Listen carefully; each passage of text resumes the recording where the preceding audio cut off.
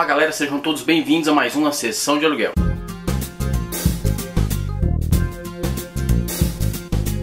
Primeiramente, esqueça tudo que você sabe sobre mitologia, principalmente em relação ao Hércules. Pronto? Então agora vamos ao vídeo. O Hércules é um personagem que já foi muito adaptado. São vários filmes, séries, animações e até mesmo quadrinhos. Em sua maioria, eles trabalham a figura do semideus, o filho de Zeus, o rei dos deuses, com a mortal. Aquele guerreiro invencível. De antemão eu já posso dizer, não é bem isso que tem nesse filme. Se você nos ajudar, pagaremos seu peso em ouro. Coma tudo.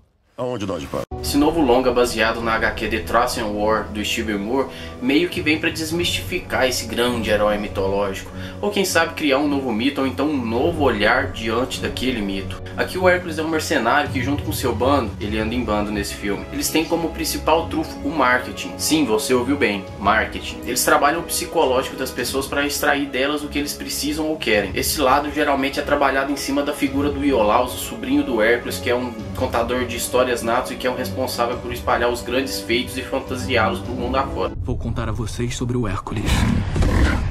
Parte mortal, parte Deus.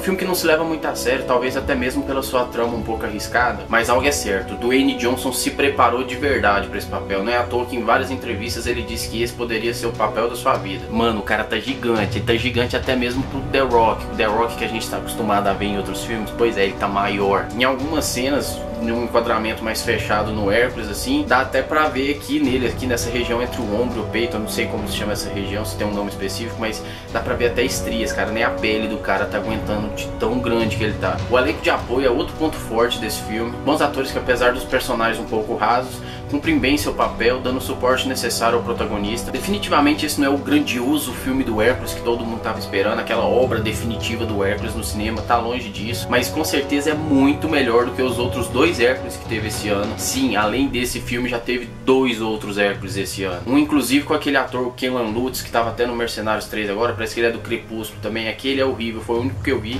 Teve um outro que eu vi alguns outros trechos, sinceramente horrível. Esse filme do Brett Ratner com certeza se sobressai diante desse esses outros, sem dúvidas. Como eu disse no início do vídeo, se você conseguir se desprender dos seus conhecimentos de mitologia, principalmente acerca do Hércules, o grande herói, o semideus, o filho de Zeus, você vai conseguir aproveitar um bom filme, um filme bacana, divertido, como serve como um bom entretenimento, dá pra levar a família, dá pra você levar quem for no cinema, tem um 3D bacana, vale a pena assistir ele em 3D. Eu tive a oportunidade de assistir ele no, na sala XD do Cinemark, valeu a pena, qualidade de imagem de som muito boa. E é isso, é um filme que, assim como ele foi feito, você quando for assistir não deve levá-lo muito a sério e simplesmente aproveitar o momento, aproveitar essa história que está sendo contada.